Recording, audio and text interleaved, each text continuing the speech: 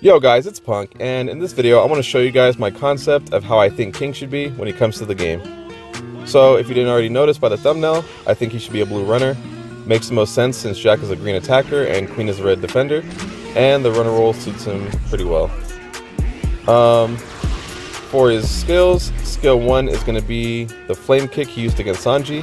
It's going to be a mid-range charge attack skill that knocks back, inflicts the flame, and debuffs the attack of the enemy. Skill 2 is going to be his Zoan skill.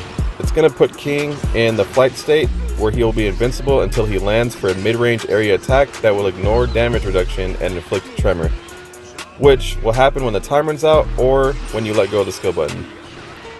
Now for this skill I'm thinking of him flying around kind of like how Pell does during his skill, but at a higher elevation, about as high as Dragon Kaido's head here in this picture. This would mean that he would also not be able to pass through or use the skill in certain locations like Kaido and Queen. And you would mainly be using the minimap to navigate during the skill so you know exactly when you're above an enemy or treasure to drop down on. Now, why fly so high? The traits will explain. So, for his character traits, his first one is going to make him invisible to the enemy's minimap during skill 2. So that, combined with him flying so high, will help give him the element of surprise. Second one is going to be reducing the time of status effects by 80%. Um, okay.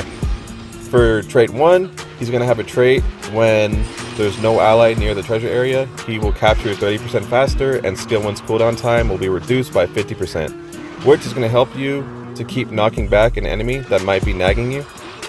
Then when he then he's gonna get an attack and speed boost when an enemy inflicts him with a status effect. So that paired with the status time reduction will work nicely together. Um, for trait 2, when he knocks back an enemy, he's going to reduce the cooldown time of skill 2 and recover HP. So skill 1 is going to be his main way to heal and start flying again, pretty much. Um, then when his HP is more than 70%, he'll reduce damage received, and even more if he's fighting an attacker. But yeah, I wanted him to be different than the typical runner with 50% cap speed trait and heal on cap. For his traits, I kind of wanted him to be to be a mix of God Usopp, Young Rayleigh, and Kawamatsu. And the numbers will obviously need balance adjusting, but it's more just about the overall concept. I think he would be a really fun character if um, in the game. Um, yeah, let me know what you guys think, and if you if there's a character you want me to put together um, and I'll do that. But yeah, thanks for watching, and see you guys in the next one. Peace!